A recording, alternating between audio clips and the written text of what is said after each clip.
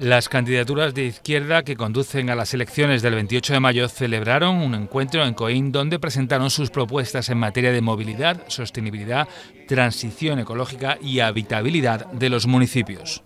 Ya está bien de tanto hormigón. El progreso no consiste en hormigonar el suelo, el, progreso es darle calidad de vida a los ciudadanos. Movilidad sostenible, Estamos reivindicando entre el tren para Laurín, el que ya llegaba aquí a Coín hace tiempo desde Málaga, lo estamos reivindicando. Tiene que volver ese tren. Es imprescindible para que la gente pueda moverse, no depender tanto del coche.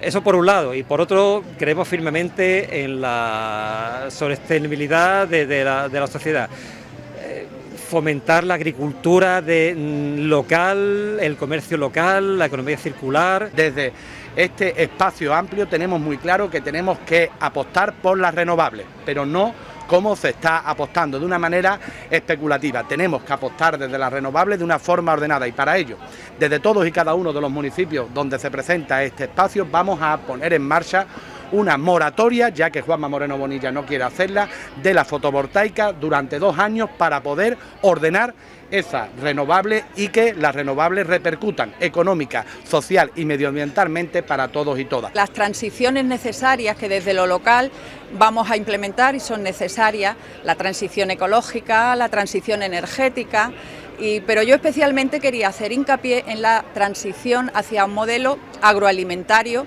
en el que el Valle del Guadalhorce tiene que ser protagonista, tiene que ser muy importante.